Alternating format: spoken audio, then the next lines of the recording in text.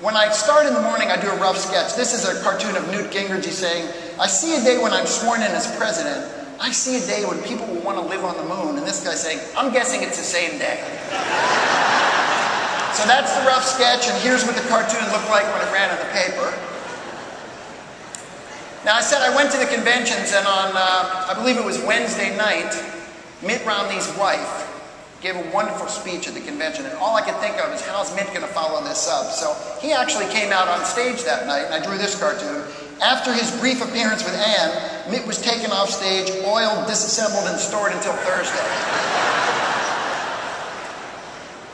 now, at the Democratic convention, which was a lot of fun, they're both a lot of fun for me, um, Bill Clinton made an appearance. And I just love when Bill Clinton makes an appearance because, and I'm going to show you some cartoons later involving Bill Clinton. I'm sure you can imagine where that's going. But Bill Clinton made an appearance, and here's this guy that had this tremendous success as president in terms of the economy, and here is Barack Obama, who is kind of doing the best he can, and it's not going so well. So I drew this cartoon. Bill saying, How are you going to get them all worked up with that?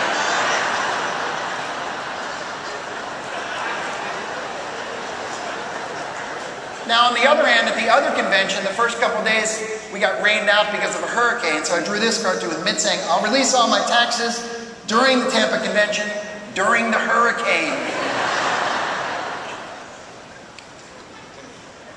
and of course, then we had the debates. So we had uh, basically a question we've heard before in debates, only this time the president was saying, Oh, I apologize. That is not the cartoon I wanted to show you. This is the cartoon I want to show you president talking about health care, saying our health care plan includes a full body scan, but you have to go to the airport to get it. and of course, since I live in New York now, um, whenever I see this, this next gentleman that I'm referring to in the cartoon, I, I often think there's going to be a cartoon in this when he bubbles up into the picture. So I drew this when, when Mitt met with Donald Trump, and this guy saying, associating with Trump is really making you look bad.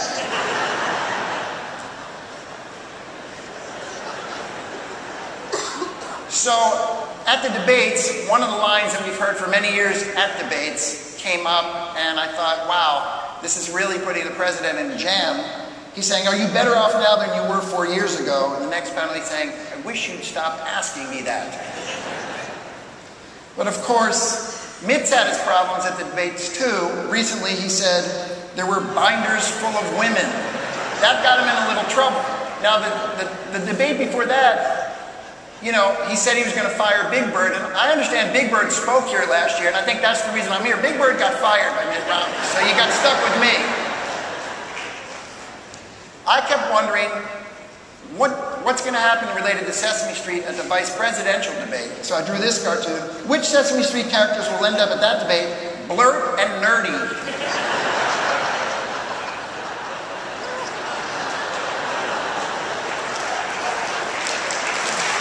Thank you. The, can- the candidates continue to run head to head in a very, very brutal campaign.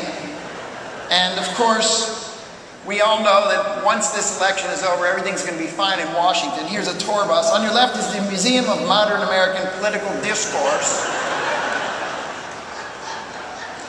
which doesn't make people very happy, so I drew this one called Angry Taxpayers. And we're very impatient, so I got him out the, outside of the portal. Come on, come on, come on, come on, come on, come on, come on. Okay, so I, I threw a bunch of cartoons in here about healthcare. I really wasn't sure how doctors feel about it. I, I just don't know how. So I just threw them in here, and you guys can laugh or boo if you wish. Anyway, here's one uh, the healthcare reform waiting room. This guy says, Been here long? Okay, you're not booing. It's a good sign.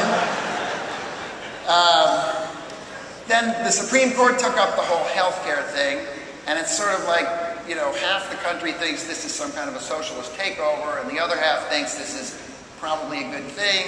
So I drew this cartoon with a mom and her son. Eat your broccoli, socialist.